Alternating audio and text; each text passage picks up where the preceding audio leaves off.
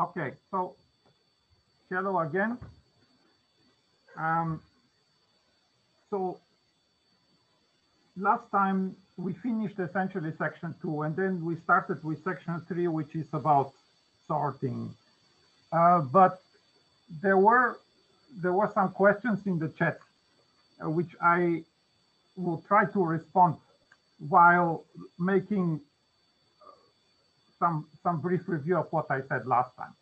And uh, the, uh, first, there were some questions about the the 1D range counting problem, uh, which were very justified because there were some problems on on the slide. So we have fixed this, and now let me let me come to this again. I, I mean. I didn't want to do too much of section two again, but uh, okay. So so the, the problem of counting was that you are given an, an ordered array and want to count the elements between uh, between two given uh, elements uh, x and x prime. Okay, so and uh, we discussed we discussed uh, uh, algorithms for arrays, and then I introduced this structure of of a search tree or or balanced binary tree or whatever.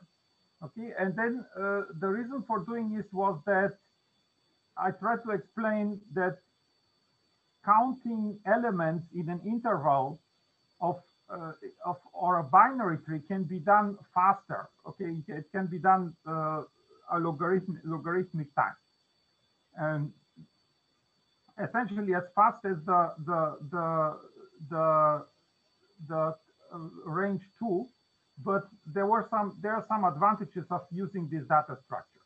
I don't want to, to say too much about this because we are going to talk about this data structure in section four in more detail. So you will see, for instance, that modifying this data structure is more efficient than modifying arrays like inserting elements and etc. Okay, so I, will there, there are some advantages in using this binary tree, and uh, I so in order this to be efficient, I, I said you need that. No.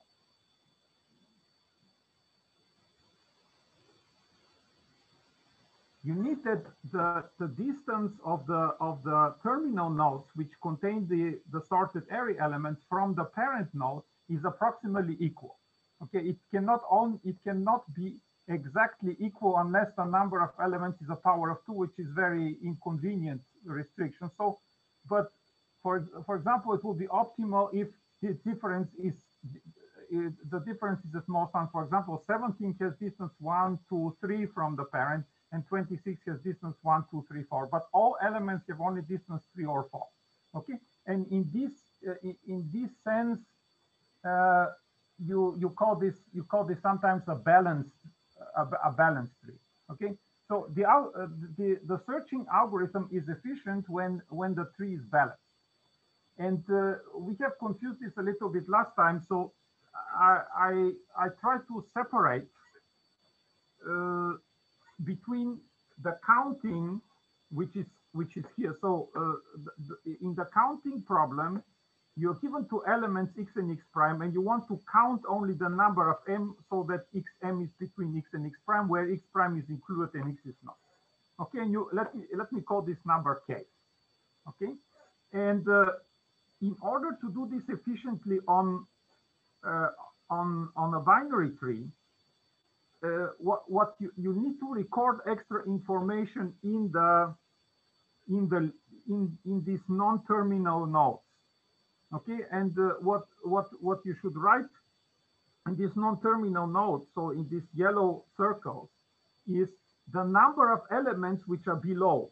Okay, plus now this is, we haven't written this here, but uh, I said this last time and I repeat, you, you should also add information, what is the smallest and largest element. So what, what should stand in this uh, yellow circles uh, now is the number of elements below, which in this case is two. So the, the, the cardinality of the set six and eight, so this is two.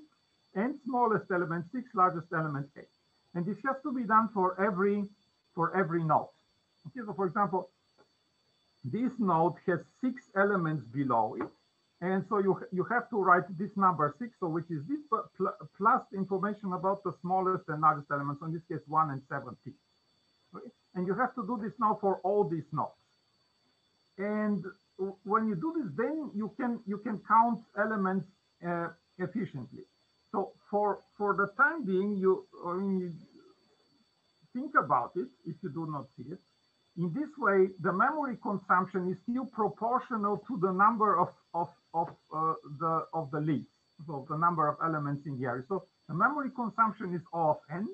Uh, let me now not explain this uh, in detail. I mean, if you do not see it, then it is a good exercise for you to think about it why. Okay, so the memory consumption is O of n. Uh, the the pre-processing of this tree is O of n times log of n. Uh, it is essentially the complexity of, of let's say of, of some efficient sorting algorithm but this piece okay this this information here is i didn't explain this in in detail and we will return to this problem later. Okay so i did not explain how how you generate this uh, this um, this binary tree from from from uh, from, from an array but uh, okay so and uh, so the depth of the, the, the tree is logarithmic if you assume that the tree is balanced. Okay, so that means the distance of nodes from the from the from the top is uh, approximately uh, approximately equal. So of the leaves from the top is approximately equal. Then the depth of this array is approx is, is logarithmic. So this is for for a balanced tree, and uh, um, the the runtime the runtime of uh, of the algorithm is is log of n. Uh, namely, what so what what you can what what this algorithm does is whenever you're given x and x prime, you can determine where does where does x and x prime lie in this in this binary tree, and you can decompose this interval into a number of, now let's see, do we have this here? Um,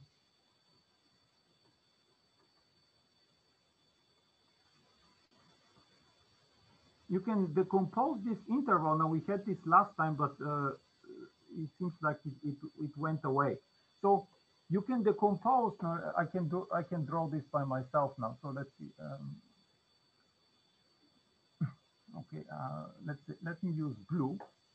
Uh, when when this is x okay and here is x prime then you can decompose this interval uh, excluding x but including x prime.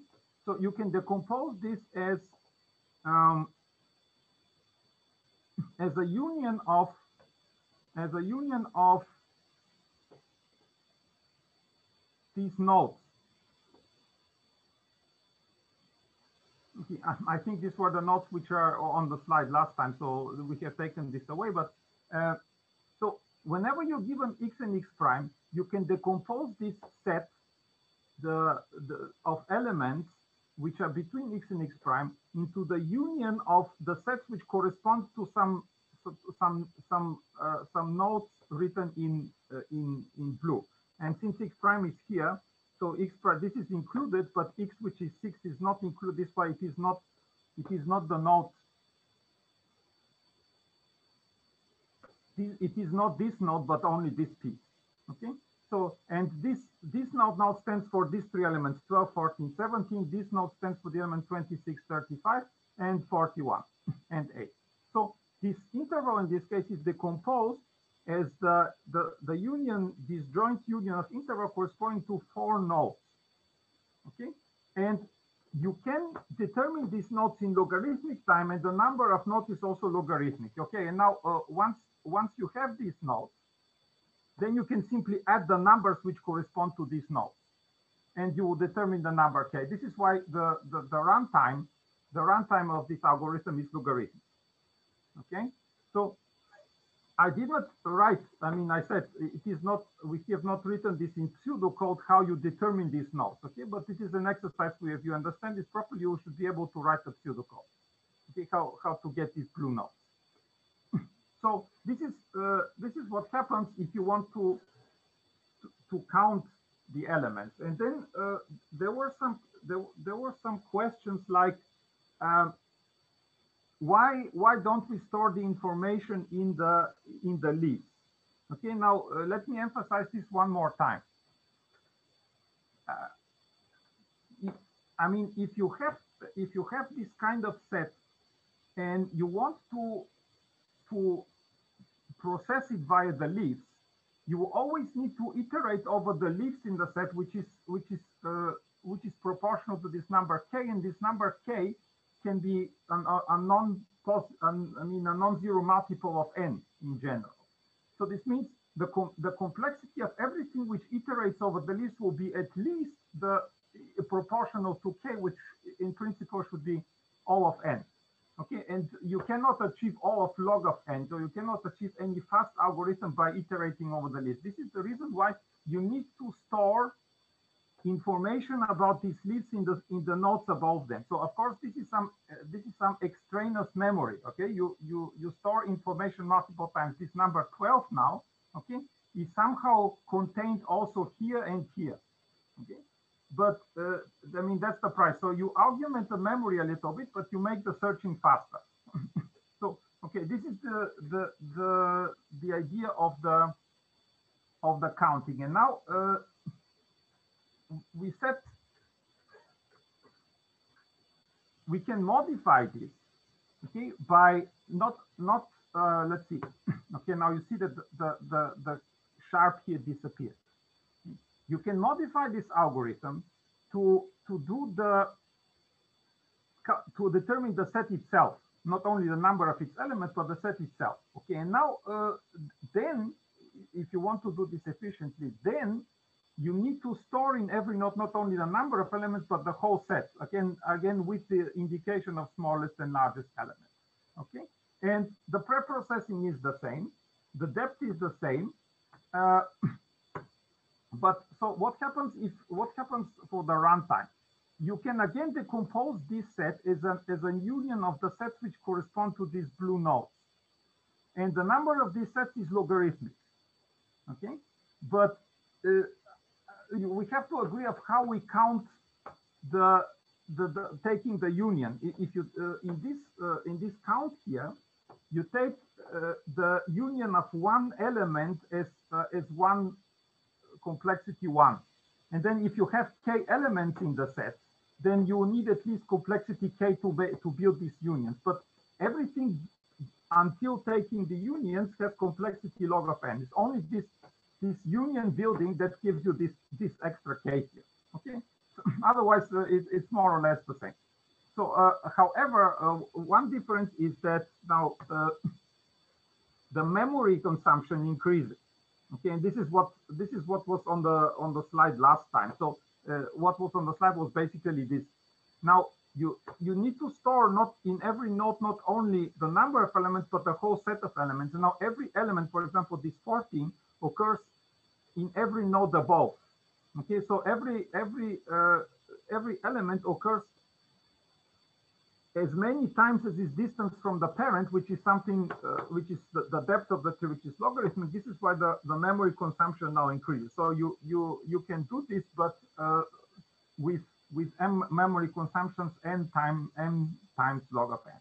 Okay, so this is now uh, the the the the two versions of the 1D. So the 1D range searching and the 1D range counting. And then I said, okay, uh, I tried to explain how to do this for for uh, for 2D. So I said one of the advantages of this binary trees is that you can iterate it.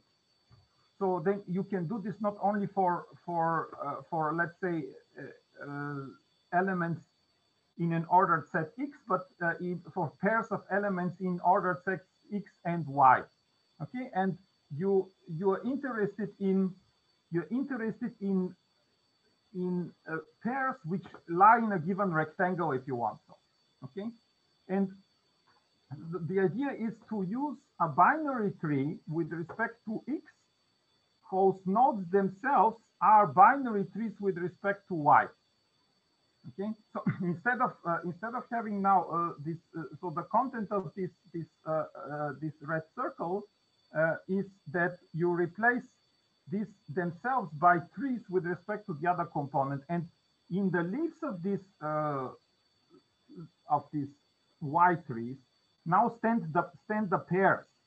Okay, I mean you do not forget you do not forget the X component when you sort it according to the Y component. Okay, but uh, uh, but you have you have this recursive structure, and now uh, the if you if you want to so now now think about it. If you if you uh, store the number uh, in, in, so if you if you build this kind of a binary tree you will have you will have uh, n times log of n consumption and the runtime you need a log of n iterations for each dimension. So you need a log of n iterations to split this set with responding to x variable and then so to determine this this uh, this uh, blue uh, set. And now every in every blue circle contains a tree with respect to y. And to to locate uh, the the element whose second component lies between y and y prime you would need to descend in these trees one more time and this will give you another logarithmic factor okay so the runtime of of counting in this way will be uh, will be uh, log squared of n. Okay, now let's see, maybe, uh, um, so what what happens is now, uh, I mean, it's not it's not optimal to, to but there is not, not enough space anyway, so let me see if I can do this. So what you do is, you have a rectangle, and the first thing that you do is you break it up uh, into let's say into with respect to x where every every interval of this sort here corresponds to one of these blue nodes okay?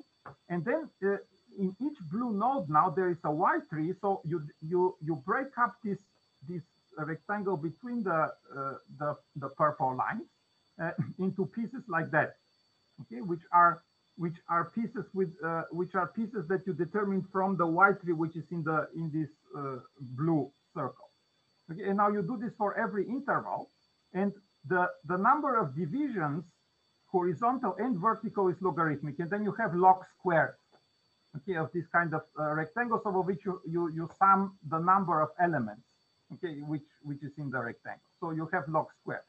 Uh, it is not necessary that these divisions are the same are the same for different x intervals okay?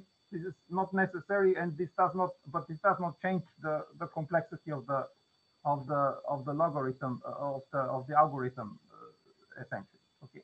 So but you have uh, these rectangles now uh, the small rectangles they are all log squared many and then this uh, you will give you complexity log squared okay? This is this is where you get uh, this is where you get this complexity. So this is for, for counting. Uh, and if you want to, if you want to uh, determine the set again, so uh, this is a 2, 2D searching algorithm, then you have to store all the elements again, and then this will cost you another lock of another lock of uh, uh, another log factor of memory, and the runtime will be the same, except that you again get this uh, this uh, this uh, this uh, plus k, which comes from simply building the union here. Okay, now uh, in in the in the searching problem there is no there is no sharp. So this is one of the few things that we failed to correct. So now there is no sharp. So you you're interested now in in the in the uh, so in the set of elements. So this is now contained in n cross n. Okay, uh, contained. Uh, okay, so this is now contained in n, or, or yeah, or contained in in one comma n. So maybe I'll try this. This is now contained in one capital N.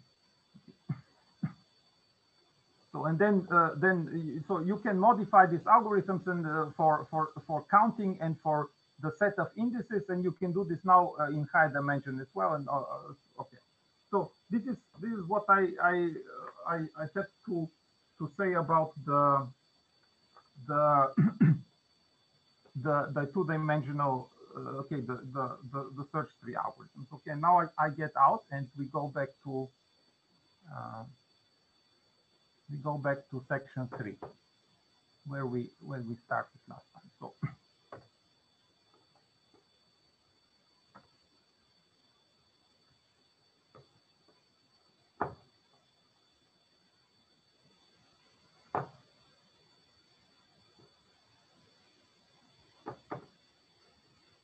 Okay, so we are talking about sorting, and I do I don't want now to uh, to repeat again uh, the various uh, sorting algorithms. So this is we'll we'll we'll deal with them several times.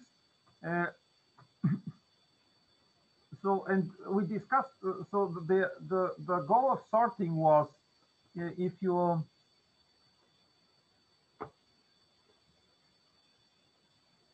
if you are given an, an, an, array, change the elements in the array so that they are sorted. And I said, usually I will not output the permutation pi.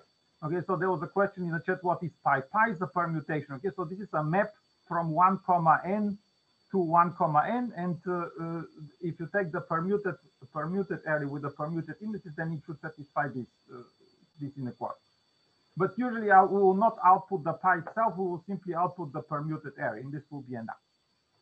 And uh, so then, and then we talked about uh, several ideas of how to accomplish this. And I remind you that we haven't fixed this here yet, but to remind that every time you encounter this rectangle, imagine that here stands the symbol for natural numbers. Okay, so the uh, one of the ideas uh, of of uh, of uh, of uh, for sorting was this bubble sort. and the the idea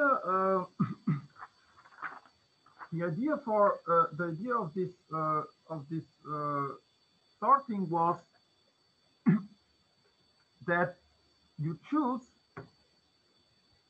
you always compare two neighbored elements and move the higher one to the right.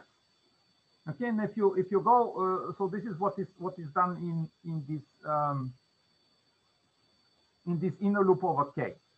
Okay, and at the end, the the the the uh, the element with index a small m will be will be correctly sorted like here. Okay, so what is this black boxes are previous previously sorted elements of the sort xm, and then you decrease m okay, and continue doing this. So this, the first iteration will choose the, the largest element to, to the right.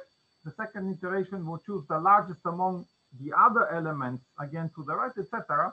And uh, okay, in the end, when you come to two, then uh, this will have sorted the array. So th the reason this is called bubble sort is that because uh, is that bubbles go up. Okay, so uh, this is uh, this is uh, this is this was the idea of the bubble. And uh, it is easy to see that this was correct and the runtime is quadratic. And then uh, we discussed two similar uh, ideas. So the one was the, the select sort. And what what the, the, the select sort does is over some piece of the array which is not yet sorted, it records in this variable min the, the index of the smallest encountered element. Okay, and at the end, after you go uh, you, you go until the end, then you, it swaps the xm with x xmin. Okay, so what you see in this iteration is the yellow ones are the, the already sorted elements. The the the the red ones are x xmin, and the blue one is the is the xk which you iterate here from from uh, from from m to n. And at the end, when you see this, this double arrow, this means that the, the content of the element is exchanged. And after this exchange is made, then you know that xm is the smallest among all the elements between xm and x capital N. And when you do this from m to from from m upward to capital N minus one, then you know that here is sorted. Okay, now the, there was this question in the in the chat last time is the insert sort similar with bubble sort, but uh, you start now, uh, you, you start from from the from the left and not from the right. Now, okay, the the idea of the select sort and the bubble sort is not exactly the same. Okay, there are slightly different ideas, and the difference between left and right, I should emphasize this, is not really significant. I mean, you can whenever you have an algorithm which sorts from the left, you can very easily construct an equivalent algorithm which sorts from the right and the other way around. So basically, whether we choose to sort from left to right or from right to left is only a technical problem. This, the algorithms will be equivalent and they will have the same complexity. Okay, so uh, whether basically the direction in which you sort is more or less a question of taste, if you want. Okay, but in the case of bubble sort, you sort you sort this from right to left because the bubbles go up and you first want the the highest elements to to be on the top. Otherwise you you can call it i don't know stone sorting or whatever because the stones fall down but don't don't say now in some to somebody professor alexander said that this is supposed to be called stone sorting nobody knows what it means so there, there is this there is this equivalent, and select sort is not exactly the same as bubble sort start, uh, starting from the left. Okay, the idea is a little bit different, but uh, it's it's similar, and the runtime is also similar. We saw that the, the runtime is quadratic, and then there was this this insert sort where uh, where the idea is that you you you sort again, let's say from from the left and uh, you you pick the, the first non-sorted element and then you you try to insert this red element between the other so that it so that the the whole the whole thing is sorted. So now one was less than three five six. Uh, you have to insert it at the beginning. Eight is bigger than everything so it doesn't need to move. Seven has to be inserted between six and eight. Two has to be inserted here so now all these five elements have to move right and this what is uh, what is uh, in this uh, red square okay is what is summarized in the variable y. Okay now if you do this uh, until until the end you you have inserted correctly uh, all, all, the elements. And now the the complexity of this algorithm depends somewhat on how well the the array is uh, is is is sorted. So if you if you need to insert, if you need to move very few elements here in this loop in order to insert your Y correctly, then the complexity will decrease. So for example, if the array is sorted, okay, the complexity of this will be linear, simply not to do anything, to, to leave the array as it is. So you just to check that the array is sorted. Okay. But uh, but in general, uh, I mean, if you if you think of worst case complexity, again, the, the worst case complexity is quadratic. The worst, the worst case is when the array is sorted reversely. Then every element has to be sorted in the beginning. So every time you have to move this whole array to the right and put a new element to the left. Okay, and uh, then you, you have again this uh, this quadratic uh, this quadratic running time problem. So the the insert sort is in average slightly better than than uh, bubble sort or select sort, but the worst case complexity is the same. Okay, so uh, uh, there is not not a, a, great improvement over over the, the, the last the last two hours. And to to change this, okay, to to to change this, we were talking about the the merge sort as an algorithm now which uh, applies a somewhat different, uh, quite quite different strategy. Uh, this of divide and conquer. So the idea of of the merge sort is to to use the capacity, its own capacity on pieces of the array and then to recombine. So we split if the array is short, we don't do we don't do anything, and then we split the the array uh, into two pieces of approximately equal length, plus minus one. I mean, if n is even, then one will have one element fewer than the other, but okay. So, and we copy the first half of x into y, the second half of x into z, and then we use the procedure recursively. So we sort y and z, and then you, you have the following problem. I mean, I, I said it again, and this is important, so we'll come to it in the next uh, algorithm. Of course, if, if every element in y is less than or equal to every element in z, then when you sort y and z, then you just need to copy z to the right of y, and then you have a sorted array. But when when you take the first half of, of x and the second half of x, there is no way of knowing that some element on the left is bigger than some element on the right. This will generally happen. So you cannot simply you cannot simply uh, attach the array z to the to the array y.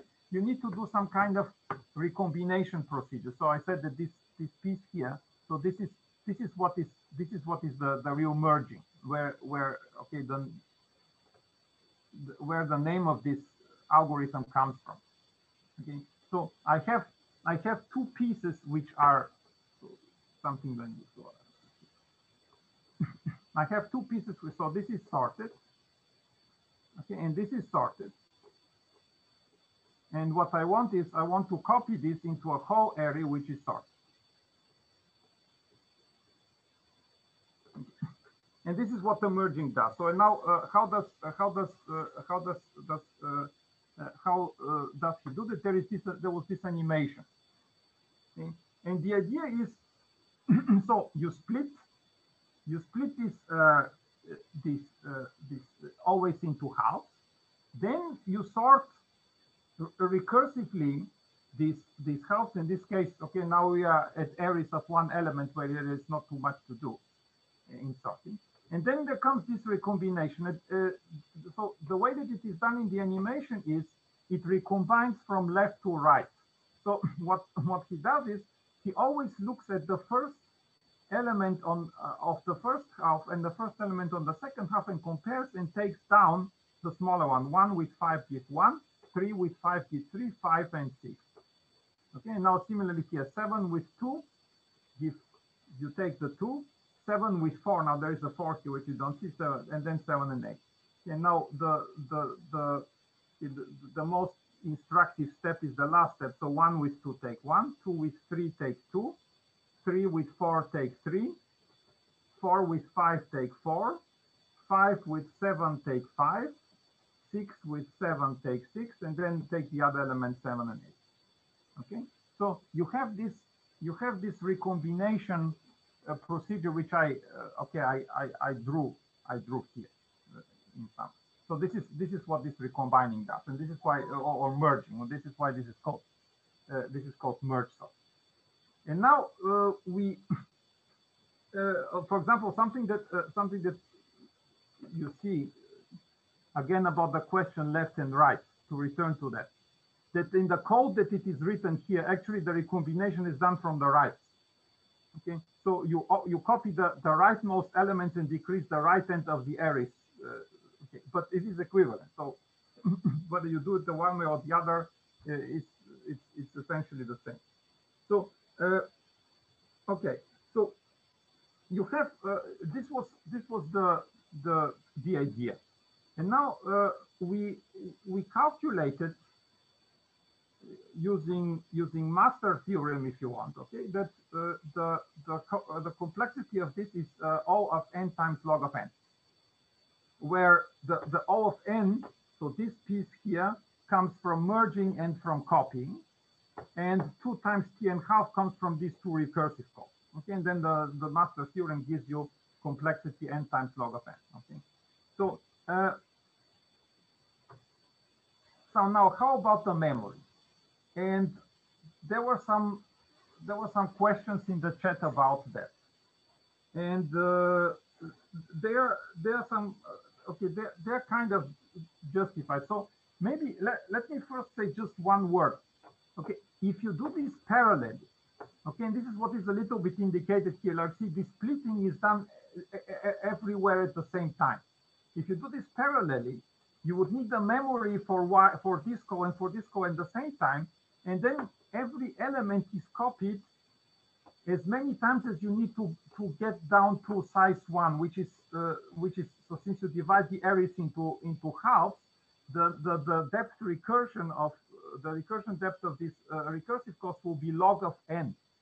Okay, so this the, this recursive calls will go on to the depth of log of n, and since every element has to be copied log of n times, you need a memory of n times log of n. This is definitely needed if you want to process everything uh, uh, parallelly, but then of course the runtime would improve. Uh, but then I said, okay, now uh, if you're on an ordinary computer, you do not need to run this recursive calls parallel. So you run first this and then that. And then uh, I said that the the memory the, the memory for for uh, for for the call of y is not needed when you run z. And similarly, the, the memory for the for the call of z is not yet needed when you run y. now, there, of course, there was then some uh, questions in the chat. Of course, you need to store the array y until you recombine. That is certainly true, okay? Because you, you uh, but the the memory of which is allocated in recursive calls, which are made by this by this call is no longer needed when y is correct, correctly sorted. And similarly, the, the memory for the recursive call of this procedure is not yet needed before you before you sort it. Okay, so and then and then uh, when you are allowed to uh, to reuse memory, so uh, to to use the same memory for different recursive calls, then you can reduce the memory consumption. And this is what I uh, this is what I try to indicate by uh, by uh, by, uh, by what by what I said last time. So you do not uh, if you if you do this sequentially, you can and you can reduce memory. You can uh, you can reduce this memory consumption. Yeah.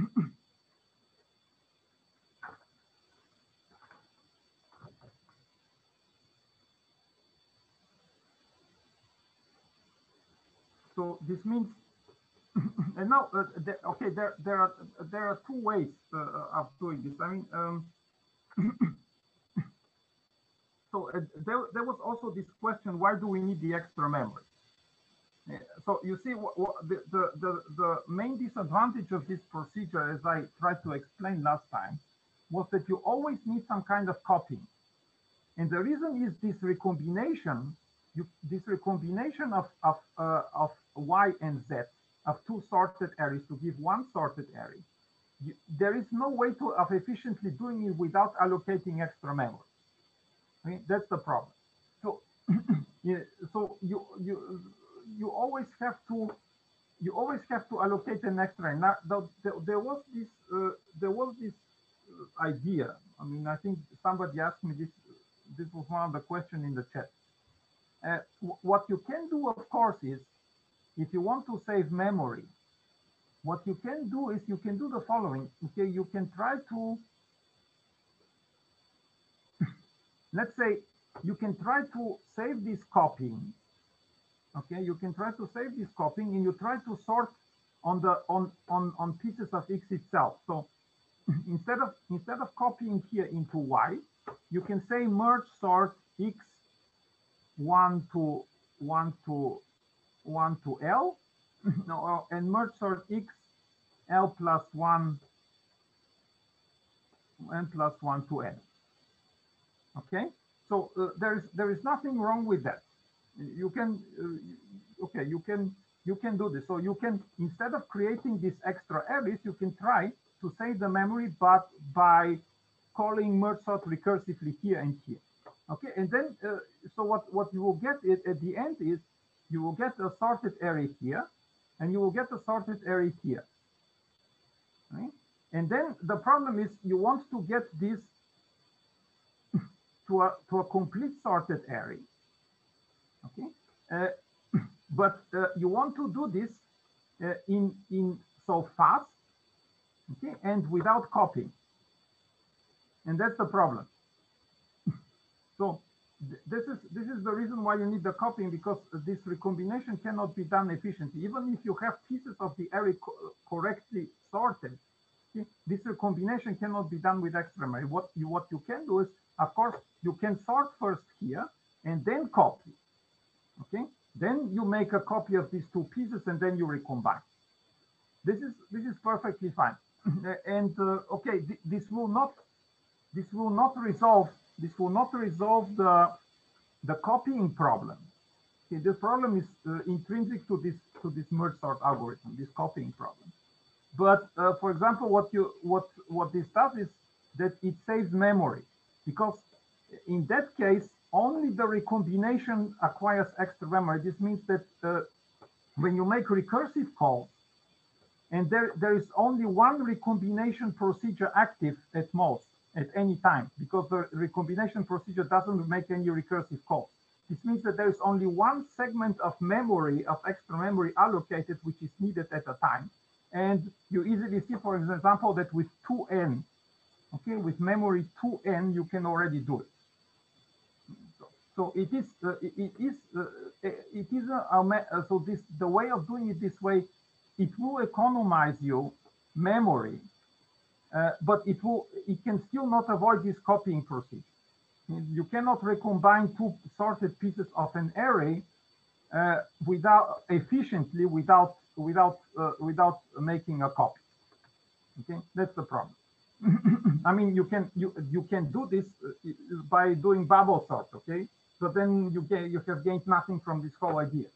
So so you want to do this fast. You want to do this in linear time in order this to, to, to be true, you need to, to make this recombination in linear time. And for this, you always need this extra copy. Okay, so this this was the the, the problem of uh, of the merge sort. And then uh, now I, I, come to uh, I think I mostly answered the questions which were uh, which were in the chat last time. So uh, this is uh, what I was forgot to say or what I should have said maybe a little bit in more detail last time. So now I come to the idea of, of quicksort. And the idea of quicksort is you is basically that you want to avoid this copy. And the way to avoid this copying is you want to to uh, split the array in such a way that everything on the left is less than equal to everything on the right. Okay, so this is this is the the the, the kind of guideline for for this quicksort. So you you want to copy this uh, in such a way that when you when you call this recursively, okay, on on x itself, uh, you are already done. You do not need a recombination. There is no recombination needed. So, but you need to do something. Okay, and uh, uh, so this can be achieved, but there, there is a complication. So, so what what uh, what what do you do? Um, for for technical reasons, I will introduce two extra parameters to this quicksort, which is L and R, which means that this procedure should sort only elements from X from XL to XR. This is important because uh, you need to call quicksort recursively on some pieces of the array, and then you need to change this L and R. Okay, so the first line you should be clear. If L is big equal to R, then there is at most one element in the array, so there is nothing to done to be done. And now there uh, there comes this. Uh, let's see. this choice of a pivot element. Okay, now uh, last semester was discussing that the word pivo, if you write it without T, uh, in the Czech Republic has some has some very different meaning when you go to Prague or to okay, and you ask you ask for pivo, then you will get a, a certain alcoholic drink where I don't know if you are in the legal age of consuming, but you shouldn't uh, overconsume. But since we are a little bit behind time, I don't want to discuss that meaning of pivo. So for now, pivot, uh, for us, pivo is the a reference element in this array. Okay, so S will be set to some element uh, uh, in this array X bracket. And it will be, we'll need some discussion about the choice of this element. So for now, just remember that S is some element in this array. Okay. Uh, and then you, you, you run this loop. Basically what you want to achieve at the end. So let me try to draw it. Mean, so what you want to what you want to achieve at the end is that you have a division of of my array with with a and b. Here will be the element s. Here will be elements less than s, and here will be the elements bigger than. S. Okay, this is what you uh, what you what you are trying to achieve. So you want to to this is not a full sorting, but it is like a pre-arrangement of this array x, uh, where where this reference element, everything which is left of the reference element is less, everything which is right of the reference element is bigger, and you know the the new position of this element. Okay, so this element will move somewhere in the array, and you you need you need the position, and uh, this is what uh, will be achieved with uh, with by this variable a and b, which will be equal at the end. So now, how do you do this? You put a to the to the left. Okay, you put uh, b to to the right, uh, and uh, you go you go from the left as long as as the elements are less uh, are, are smaller than that. So you go from here until you find an element which is bigger equal. And similarly, you go from the right, as long as you encounter elements bigger equal to, so actually there should be here bigger equal. If you assume that there are elements, several elements equal to S, then uh, we should do that way. Okay, but it is uh, only a technical, a minor technical point. So, and now when when you when you uh, exit both of these loops, then two other two things happen. Either A is equal to B, okay, and then you would know that everything on the right is bigger than S and, and everything on the left is smaller than S, and then you are here. Or you found an element on the left which is bigger than S, and an element on the right which is less than uh, less than or equal to S. And if that happens, then you swap. Okay, I mean, uh, of course, if a is equal to b, then this will do nothing. Uh, this will do nothing. So you need you can swap also when a is equal to b and then exit the loop. But uh, uh important is that whenever you find an element here which is bigger than s, and here which is less than or less than s, then you simply swap them. Okay, and then the big element lands on the left, and the small element, uh, the, the the big element lands on the right, and the small element lands on the lands on the left and then uh, once you you are you are uh, you have swapped this, then you continue doing until uh, again until a is equal to b, and when you then you arrive at this uh, at this uh, situation. So and the the so this can be done. this this will give you now a division okay, of of this array where you have you have the position a of the element s. So obviously s is S must be in the middle because everything here is bigger equal to S and everything here is less than S. Okay, so S uh, now at the end, XA will be equal to S. Yeah. so, and now once you have this, then you have this division of arrays where everything on the left is less than equal to everything on the right. And then you can simply you can simply call quicksort recursively on this piece and on this piece. And uh, uh, I mean, maybe just remark, since you know that xa is equal to s, you do not need to sort s itself. This is why here it is, uh, here, here means the, the right boundary, the right boundary of, of the left piece is set not to a, but to a minus one. a is equal to b, okay? Uh, so uh, you must you, you, must be careful. I mean, uh, okay, uh, you must be careful that the the the the size of this array decreases under both calls. Mm. So actually, actually, it would be better here to write b plus one, Yeah, because because a because s a is equal to b and s is equal to s is equal to xa. Okay, and the reason you need this uh, decrease of of length is that in case a is equal to zero or a, a is equal to one or a is equal to n, you may you have you will replace a call of quicksort over the array x with a call of quicksort over the same array. And then you get an infinite recursion. This is something that you have to avoid. So you have to ascertain that the size of the array decreases under recursive calls. Okay, and then you can do this. Okay, uh, the, then then the idea works. So and now uh, the the so what is what is the the the problem with with that. So now let me let me erase this this drawing, which is not okay, it's not not the best. But so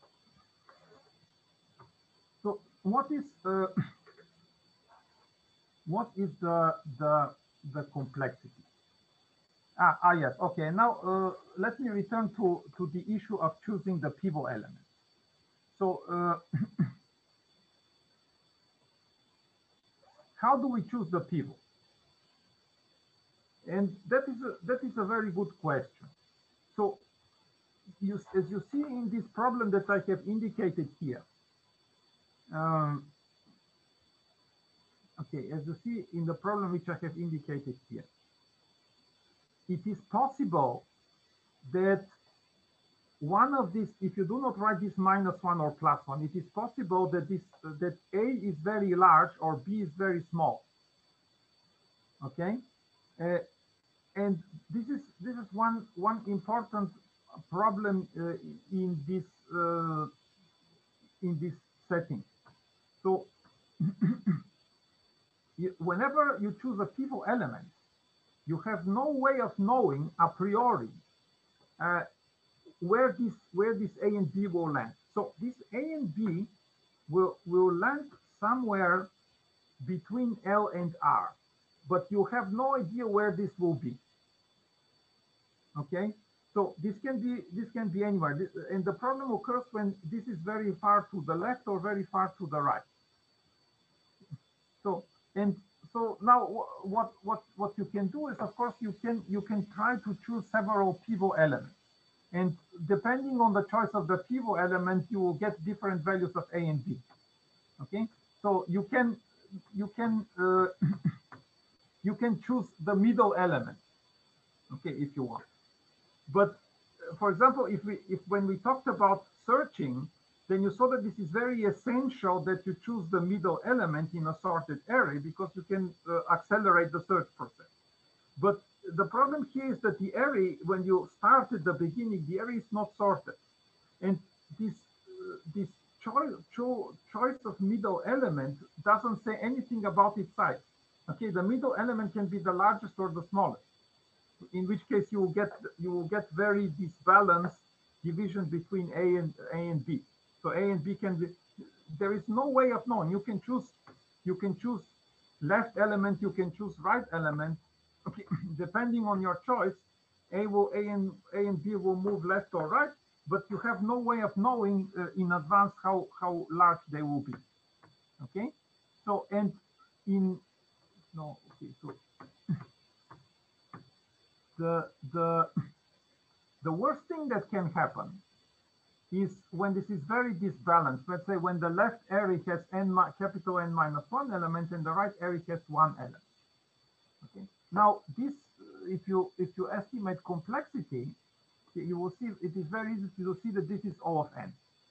Okay, so this uh, re reorganization of uh, the, the, finding of this element A uh, of this of this division, uh, the the calculation of this A and having everything small on the left and everything larger on the right will cost you O of n. So this is not not too bad, but the problem comes from here.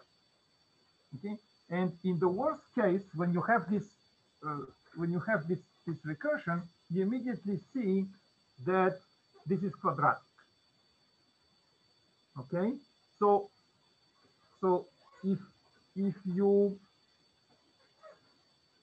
cannot control how far this a this division a and b goes to the left and to the right, uh, in the worst case, you will have quadratic complexity. Okay, and uh, so this means this this idea, if you use the idea for itself, the worst case complexity of the quicksort is actually as bad as this of the of the bubble sort. Okay?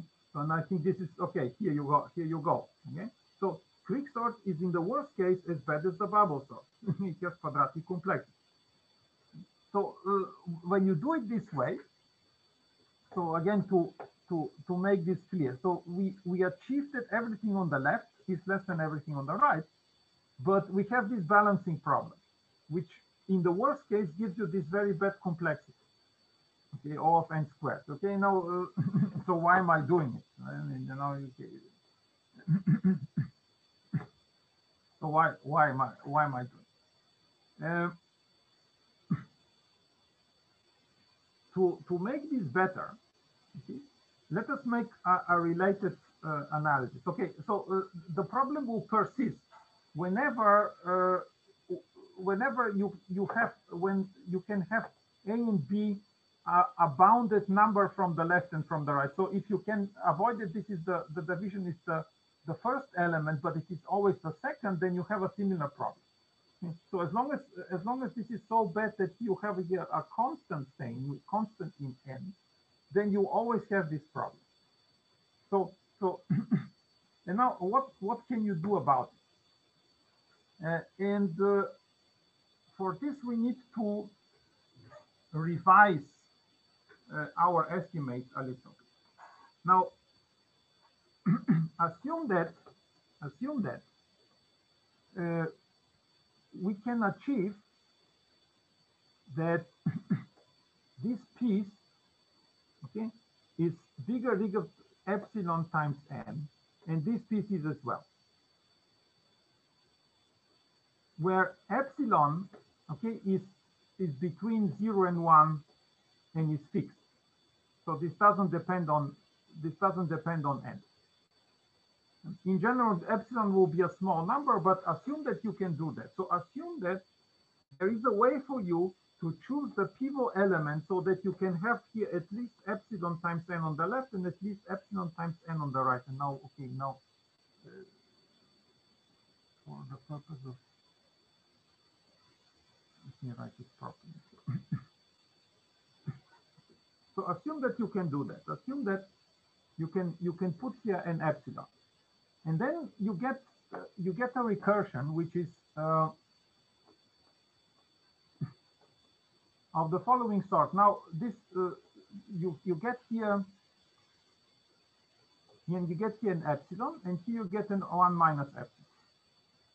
So this means that the complexity of this recursive calls is like that. it, it is not very precise in the sense that you have to, this is now in the case that it is exactly epsilon, but uh, it is very easy to see that if it is further to the center, then the, the complexity will decrease. So the worst complexity comes when when this is when this one of these distances is the smallest, and in in this case we assume that this is exactly epsilon. This is why you write now here n times epsilon, and for the other for the other part you write n times one minus epsilon.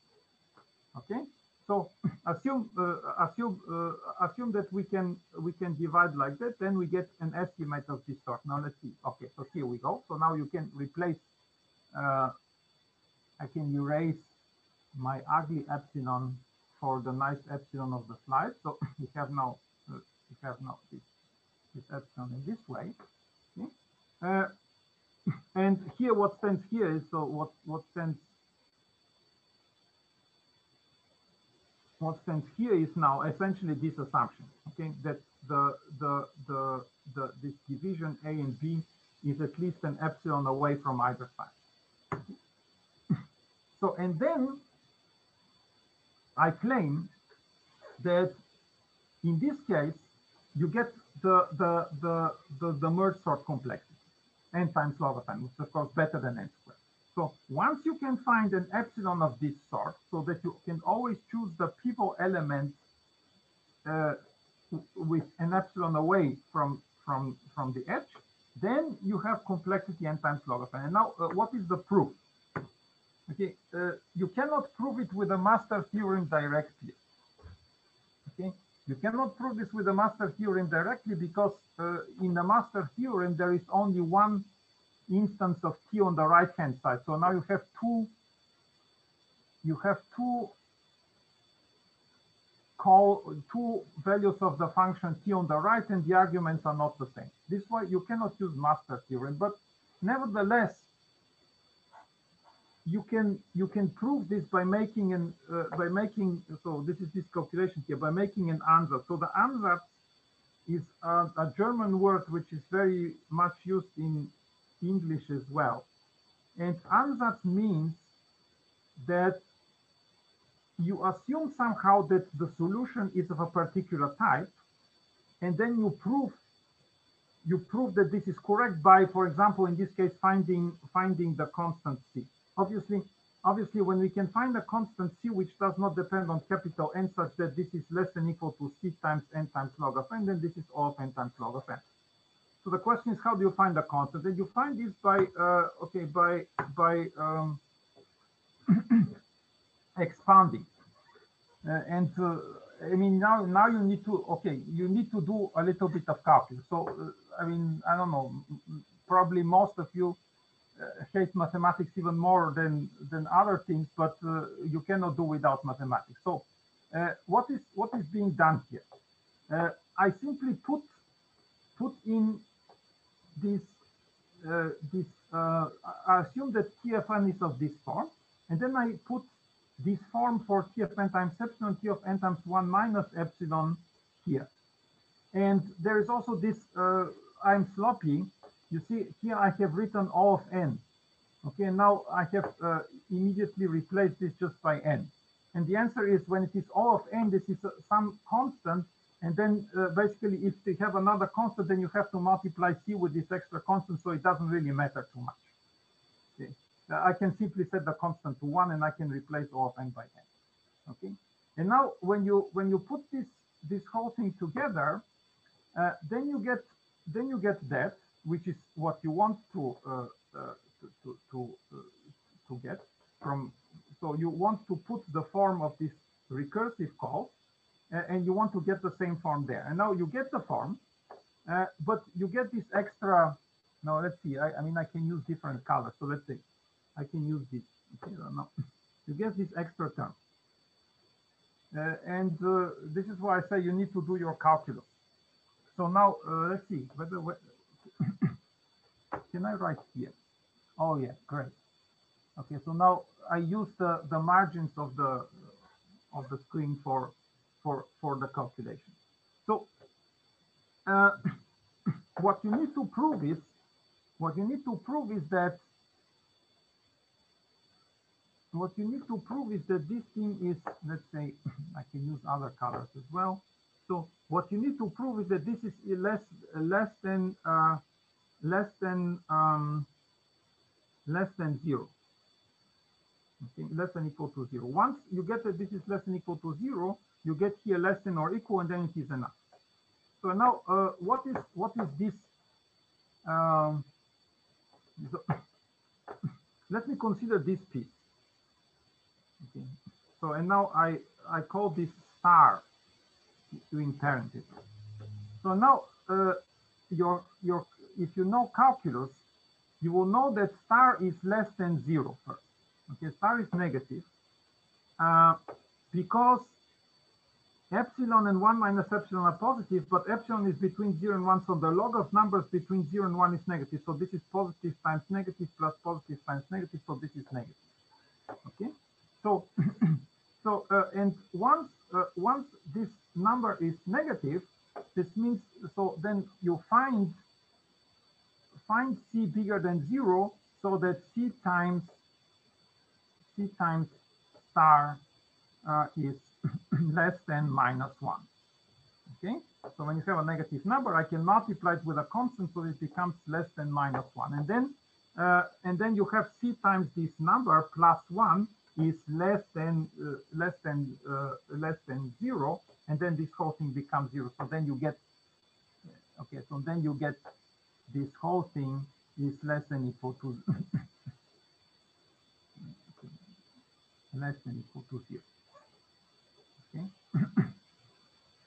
and uh, this is how you prove this is how you prove uh, this estimate.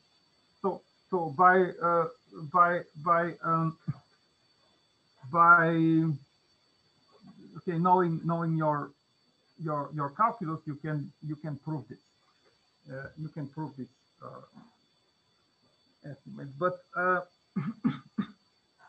what happens so now uh, but uh, now let me add a remark. So uh, this this gives you a proof that that whenever you can fix epsilon you get you get this logarithmic complexity now what happens when epsilon goes to zero now now uh, So what happens when epsilon goes to zero? And this is also something that you should know. So when epsilon goes to zero, this goes to one and this goes to log of one. Log of one is zero, and so one times zero is zero, so this goes to zero.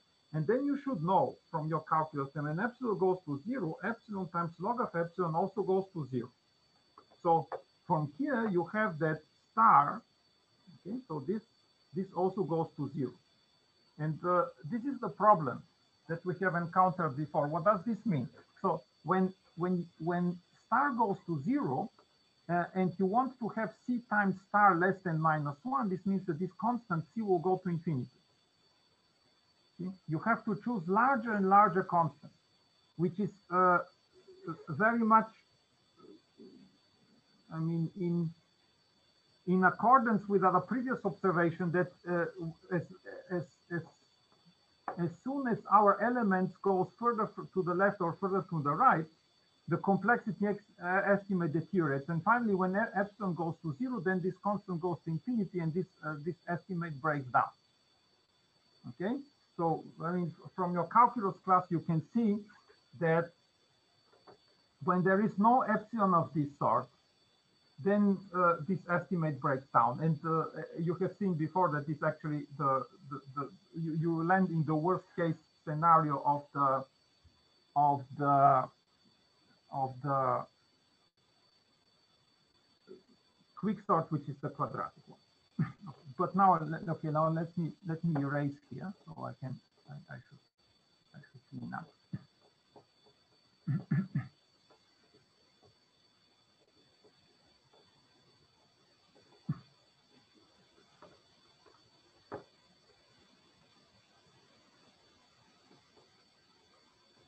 So now remember this important point. So we have seen that as long as I can choose my uh, my my pivot element so that uh, I can uh, as, achieve this epsilon, uh, I can I can improve this this worst case complexity. Okay. But the problem is you do not know how to do that yet. I mean, uh, as I said, uh, when whenever you fix a pivot, whether this is whether this is the, the middle element or in fact you can you can do this random. Okay, so you can choose a random number between L and R, uh, and uh, you can choose S to be this random element between L and R. Right? This is fine, but there is no way of uh, no way of producing this epsilon. I mean, this uh, this choice of uh, this random choice of elements will not guarantee you this epsilon. So this means, uh, I mean, I think it is explained also in the book. So, so in uh, in I will show you the book when I when I finish the lecture. So uh,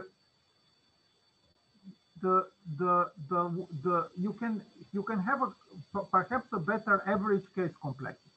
But the the worst case complexity remains the same. So you need to ascertain this epsilon or or it is very helpful to ascertain this epsilon.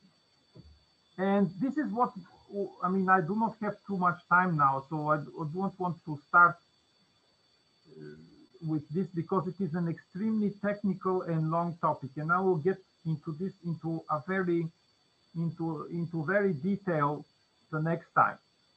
but uh, the, the idea of, uh, of this uh, fix to the quicksort algorithm. So I'm finding an element which is at least an epsilon from the left and from the right away from, from the from the smallest or largest entry is by using this by using uh, an, a revised modified median algorithm, which is uh, which is called the the median of five medians.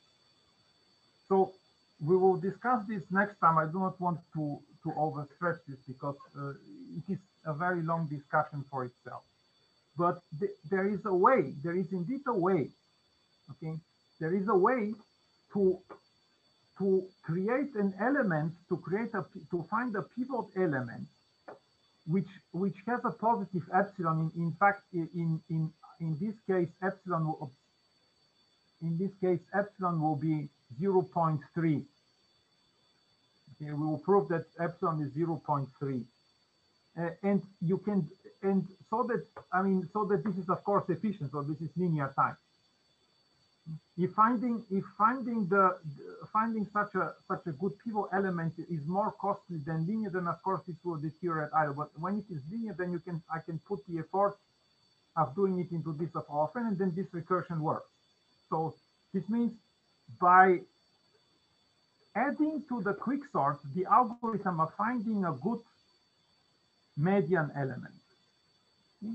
We will be able to get the quicksort to work with some positive epsilon. For example, epsilon is 0, uh, 0 0.3, and then uh, you, you will have this, this good complexity. And uh, so we will discuss, I don't want to start this now because it is okay, too late and uh, you're tired anyway. So I will discuss this um, this uh, this story uh, in detail the next time. Okay, now I get I get out of I get out of my um, screen. You can. So if you can see me, I mean this book, okay? Uh, so this is this is this book uh, about about algorithms and uh, and what you will find in this book. Okay, I mean uh, the lecture is not not a copy of the book, and it shouldn't be. So what you will find in this book is you will find a discussion of the quicksort with an average case analysis and worst case analysis and the explanation why the worst case is quadratic. But I did not find this uh, this median time uh, modification uh, in the book. So this is uh, okay. We'll have to discuss this in detail next time. Okay. So and uh, I think now my time is over, so let, let me let me finish here. Uh, questions in the chat. Is K the count of output? Yes. And uh, okay, uh, uh can you explain why C goes to infinity one more time? Now, uh, I, okay, maybe I will do this one more time the next time, but basically this is calculus. Okay, I mean, so uh, so first first hint for you, uh, simply look into your calculus textbook, okay? And I do not want to do mathematics too much in a, in a complexity class, but we will need this from time to time. And uh, next time we'll need to do some more mathematics, okay? So, uh, uh okay. Uh, and um, yeah, okay, so you're welcome. And then see you on Thursday, okay, 5.30.